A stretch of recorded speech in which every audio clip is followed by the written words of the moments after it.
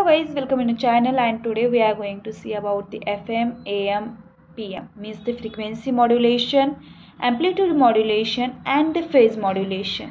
So let's see it detail okay?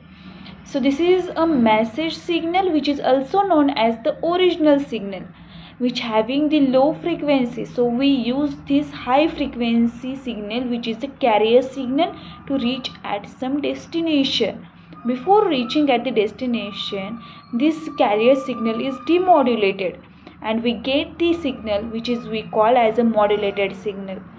Then while doing all such a process the carrier signal is changes its parameter according to the original signal or we also call it as the message signal or a bandwidth signal.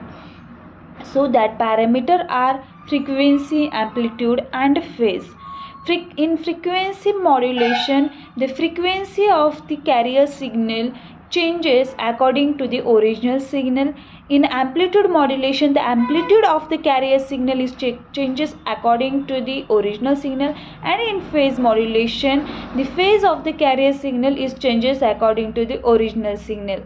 Where we can see in frequency modulation when it is go from low to high the frequency is increases. But when it goes from high to low the whole the frequency in the carrier signal is decreases or became contrast and here is it is stretched okay? So this is about the frequency modulation. But when we say about the amplitude modulation when it is the high or the it is at the upper side it is very high one whole cycle it is done the amplitude is increases. But it when it is go from zero and low side then it is the amplitude is less means the amplitude is higher and amplitude is less.